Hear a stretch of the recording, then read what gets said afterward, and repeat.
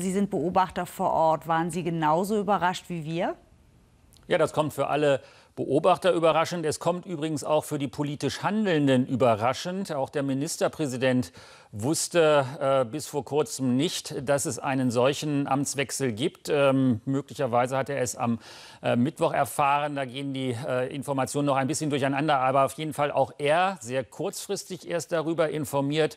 Und äh, insofern ist das in der Tat eine faustdicke Überraschung, so eine Einstimmenmehrheit. Äh, da wandelt man immer auf der Rasierklinge. Da geht es immer darum, Abgeordnete, die mit dem einen oder anderen nicht einverstanden sind, auch ähm, einzufangen und mitzunehmen.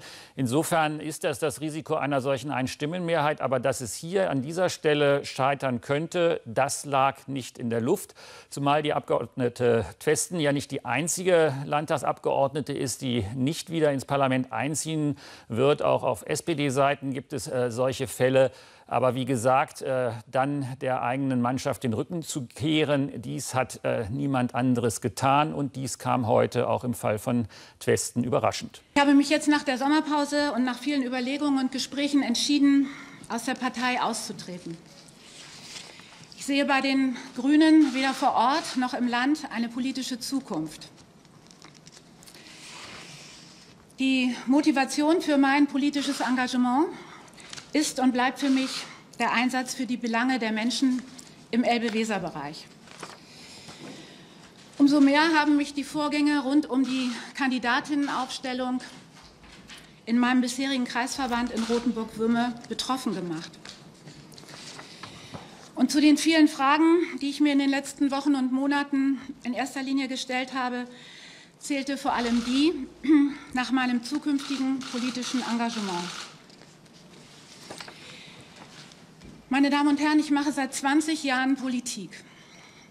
Und seit 2008 setze ich mich im Landtag für meine Überzeugungen und für meine Wählerinnen und Wähler ein. Ich mache das leidenschaftlich, aber stets mit dem Bewusstsein für das Machbare.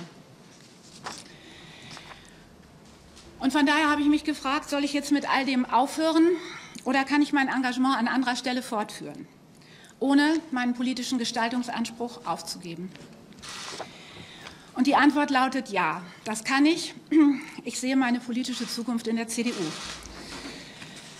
Ich bin seit langem, und das wissen viele von Ihnen, eine bekennende Anhängerin von Schwarz-Grün.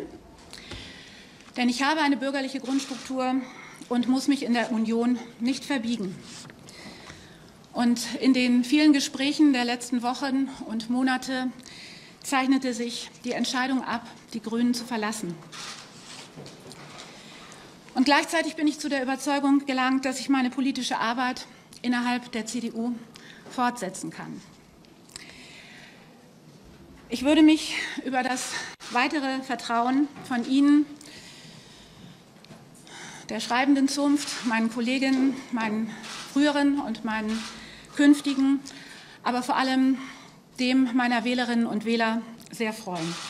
Aus der Entscheidung von Frau Testen entsteht aus meiner Sicht im Moment eine bedeutsame Krise der rot-grünen Landesregierung. Die amtierende Landesregierung hat damit im Parlament, im Niederländischen Landtag, keine Mehrheit mehr. Was das nun für die weiteren Abläufe bedeutet, äh, muss in den nächsten Tagen verfassungsrechtlich und parlamentarisch geklärt werden. Auch meine CDU-Landtagsfraktion wird heute zusammentreten, um das weitere Verfahren zu erörtern. Frau Twesten gilt in ihrer politischen und parlamentarischen Arbeit als sehr sachorientiert und als Realpolitikerin. Und als Landesvorsitzender werde ich sie natürlich gerne in unsere Reihen aufnehmen. Es gab nach meiner Einschätzung sehr erkennbare Vorboten zu diesem Scheitern der amtierenden Landesregierung unter Ministerpräsident Weil. Sie hat sich in den, insbesondere in den letzten Monaten eher aus meiner Sicht durch mutloses und kraftloses Agieren oder aber auch Nichthandeln ausgezeichnet. Ich nenne nur die fehlende Kontrolle im Aufsichtsrat von VW. Ich nenne die Vergabeaffäre im Wirtschaftsministerium und der niederländischen Staatskanzlei. Ich nenne die Schulpolitik und auch die große Frage der Inklusion an unseren Schulen. Ich nenne die Unterrichtsversorgung.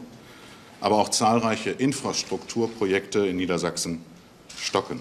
Letztendlich glaube ich sagen zu können, dass die amtierende Landesregierung unter Ministerpräsident Weil offensichtlich am Ende an sich selbst gescheitert ist. Der Sächsische Landtag möglichst rasch seine Selbstauflösung beschließt und möglichst bald bei uns in Niedersachsen Neuwahlen stattfinden. Es kann keine andere Instanz als die Wähler geben, die über die Mehrheiten im Landtag entscheiden. Das ist der Grundsatz, um den es heute geht und den müssen wir behaupten. Ich werde deswegen heute noch den Mitgliedern der sozialdemokratischen Landtagsfraktion empfehlen, einen entsprechenden Antrag auf Selbstauflösung des Landtages einzubringen. Ich bin davon überzeugt, jetzt haben die Wählerinnen und Wähler das Wort. Das ist das Gebot der Stunde. Vielen Dank.